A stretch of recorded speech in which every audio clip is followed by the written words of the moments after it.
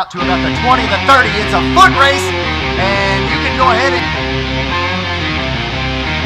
take the pitch out to the right. Stutter step back up to the middle, and he got hit hard. He's got an edge. He's down the sideline to the 20. It's a foot race. But Making this time, throws it over the middle. Oh, caught at the goal line. And off again, he'll run off to the right. He's got room. And he does not sideline. One man left to beat him.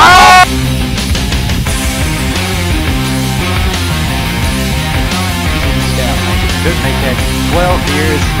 Diving it in. 20, 15, 10, 5. Now managed to get through those tacklers. And is absolutely picked. Out to the left, partner. Nowhere going at all. Caught in the back.